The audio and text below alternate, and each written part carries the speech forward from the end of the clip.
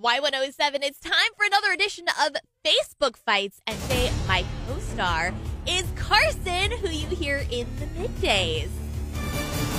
I don't usually post aggressive posts like this, but I'm so mad that I just can't help but vent. The person who this is about should absolutely know it's about them. How dare you steal my dead mother's recipe for macaroni salad and take credit for it? You not only hurt me, but you trampled on the memory of my sweet mother. How dare you? I'm not going to expose her publicly. She knows who she is. She is a macaroni salad imposter. I just feel bad for her children. They were born from a liar's womb. They will probably grow up to be liars too. Ooh, don't you think you're being a little oversensitive here, Stacey? It's just macaroni salad. By the way, imitation is a form of flattery. I knew your mother very well. I don't think she would be that upset over macaroni salad. I'd worry about something else. Take a chill pill and chillax. no offense, Andy, but mind your own business.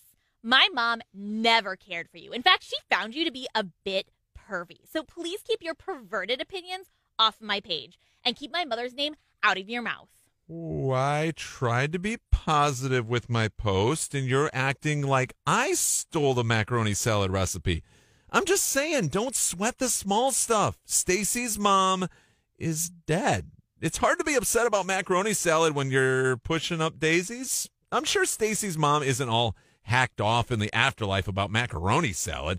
That's all I'm saying. Andy, you're a pig, and you should be canceled. How dare you? Stacy's mom has got it going on. Stacy's mom has got it going on. Well, not anymore, because She's no longer with us. You're a disrespectful pig, and so is this macaroni salad thief. I will get you canceled. Cancel me from Facebook? okay, good luck with that. That's the last time I'll ever try to be positive with crazy people. Screw your mom's macaroni salad then. I'm logging off now before this really gets ugly. Maybe I'll go have some macaroni salad. Huh, I know a good recipe. It's your Facebook fights. You can catch them all online at y107.com.